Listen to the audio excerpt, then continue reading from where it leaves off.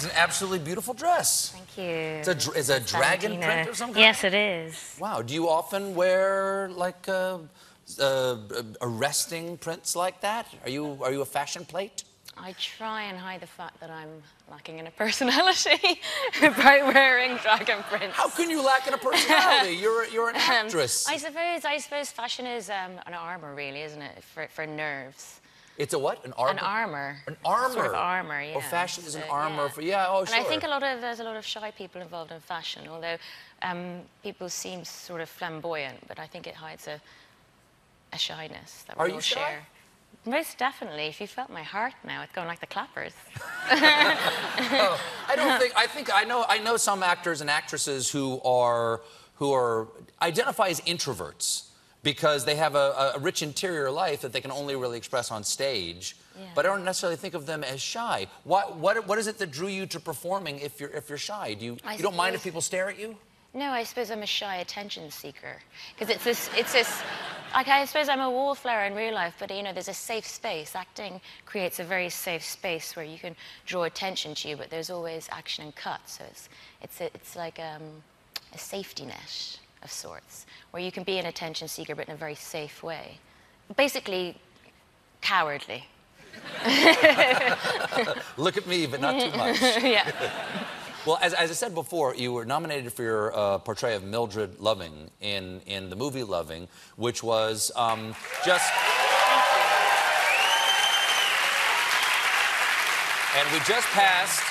We just passed uh, Loving Day, which was the anniversary of the 1967 uh, judgment by the Supreme Court striking down the anti-miscegenation laws in 16 states that still had them at the time. How has playing that that role sort of changed your life, or has it? Uh, yes, most definitely it has. I mean, um, primarily because I, I suppose I got to I got to meet someone, um, in the esoteric sense of like meeting someone who'd changed the course of the world, really. Did you- in did you- did you meet Mildred No, I mean in playing her. Oh, in playing her, I see. felt I met her. I felt I met her spirit.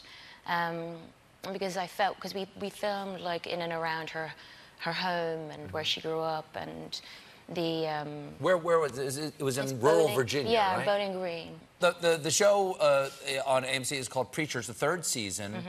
In it, your character is searching for, well, last season was searching for God. It's, it's a supernatural, spiritual uh, action thriller. Would you describe it that way? Yeah, I'd describe it as like some sort of yeah, a manic journey. Yeah. Mm-hmm. And, and your character finds God. Well, God finds her. Isn't that always the way? Well, I don't know about that now. No? I don't know about You don't know that. about that? No, I don't know about that. God's always looking. Well, she's yeah, yeah, but she's always ducking. You, you can hide from God? Oh, she's done her best. Oh. she's lasted neat- this long. That's a neat trick. You gotta teach me that one.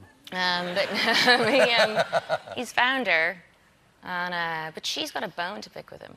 I, I, we have a clip here of uh, God finding you. Now, God is an odd creature in this. Yeah, he's got his, you know, strange proclivities. Jim,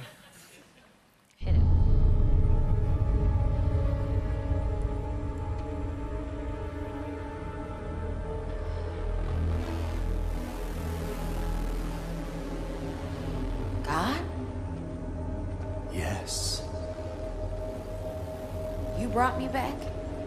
No, that was another.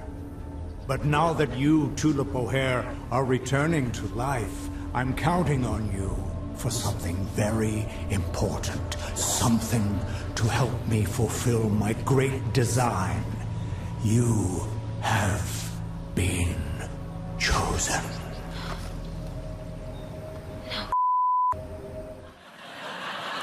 those writers went to a different Sunday school than I did.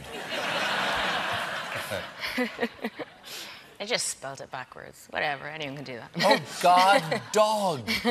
Oh, I'm so dumb. Thank you Took so me much a for while. being here. Preacher you. returns this Sunday on AMC. Ruth Negga, everybody. We'll be right back with a performance by Walking the Moon.